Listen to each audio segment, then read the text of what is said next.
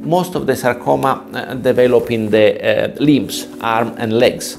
So the surgeon has two advantages. The first is that he can take big margin. Nowadays, amputation is almost never needed. Hmm? However, the surgeon has uh, a leg or a, an arm where there are compartments.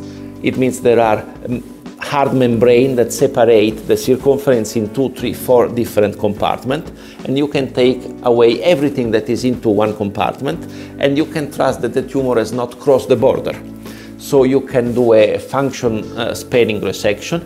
You still have your leg, it's no longer the amputation. We are all very happy about that. Sometimes you, you must use a stick, but you can still work with your leg. And the surgeon can take very wide margin and take the, the tumor away, and then we give a little bit of radiation to sterilize the, the area. This is normal for uh, arms and legs.